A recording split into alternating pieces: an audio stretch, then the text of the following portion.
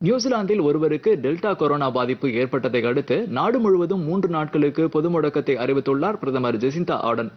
இதுகுறித்து செய்தியாளர்களிடம் பேசிய அவர் நியூசிலாந்தில் கடந்த பிப்ரவரி மாதம் முதல் கொரோனா தொற்று நடவடிக்கைகள் தீவிரமாக மேற்கொள்ளப்பட்டு வருவதாக தெரிவித்தார். தற்போது டெல்டா கொரோனா வைரஸ் பாதிப்பு கண்டறியப்பட்டுள்ளதால் இந்த மூன்று நாள் பொது முடக்கம் கொண்டுவரப்பட்டுள்ளதாகவும் இந்த மரபணு மாற்ற வைரஸ் தொற்று எளிதில் பரவும் தன்மை கொண்டது என்பதால் தீவிர கண்காணிப்புக்கு அரசு அதிகாரிகளுக்கு உத்தரவிடப்பட்டுள்ளதாகவும் அவர் கூறினார். நியூசிலாந்தின் ஆக்லாந்து நகரில் உள்ள மருத்துவமனை ஒன்றில் சிகிச்சைக்காக அனுமதிக்கப்பட்ட ஐம்பத்தி எட்டு வயதுடைய ஒருவருக்கு இந்த டெல்டா வகை கொரோனா வைரஸ் தொற்று உறுதி செய்யப்பட்டதை அடுத்து இந்த பொது முடக்கத்திற்கு அரசு உத்தரவிட்டுள்ளது குறிப்பிடத்தக்கது.